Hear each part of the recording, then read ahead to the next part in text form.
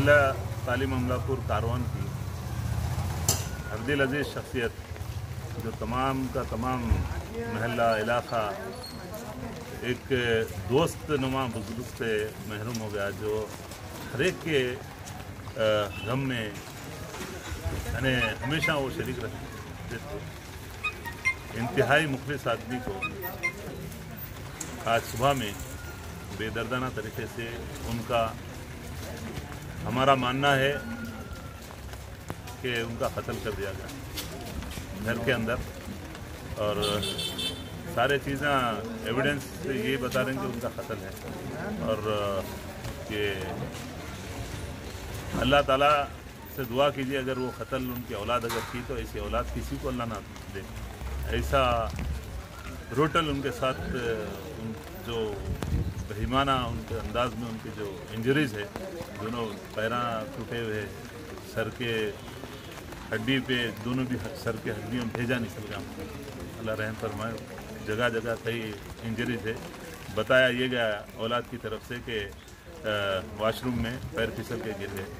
लेकिन जब जाके वो तीन घंटे के बाद हमको मालूम हुआ तो जब जाके देखे तो अ, वो कुछ और था हकीकत जिस पर हम लोगों ने फौरी पुलिस को इन्फॉर्म किया और अलहमदिल्ला इंस्पेक्टर पुलिस का पता क्या नाम है और उनकी एज क्या है?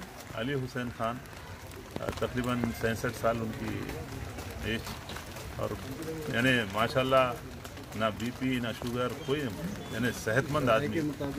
जी जी। हाँ बिल्कुल रात में किरकिरी हुई तो अहलिया ने महल्ला बिठा के साढ़े चार बजे तक भी बात करके चले गए।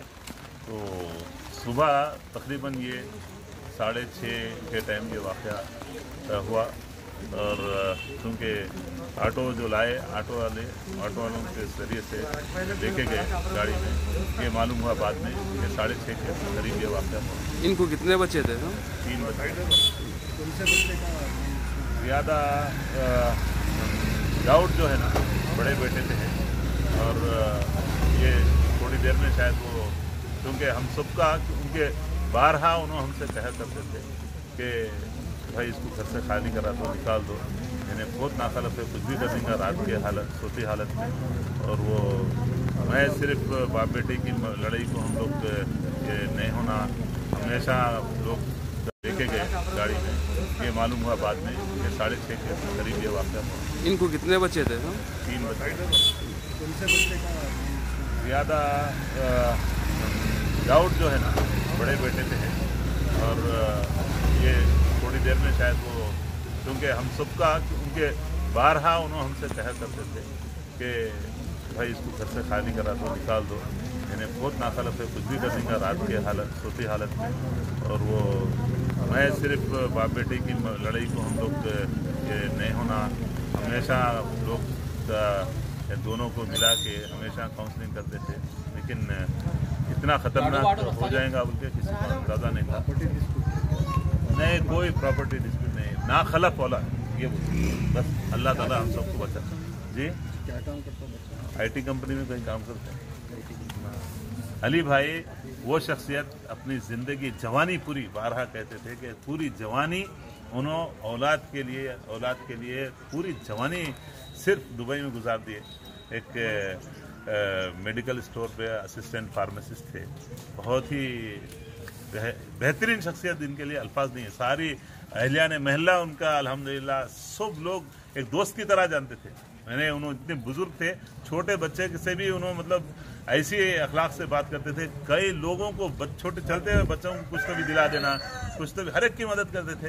लेकिन औलाद अल्लाह रहम करे, अल्लाह इसी औलाद से हमको बचाए। थोड़ी देर में वो मालूम हो जाएगा कि क्या हुआ।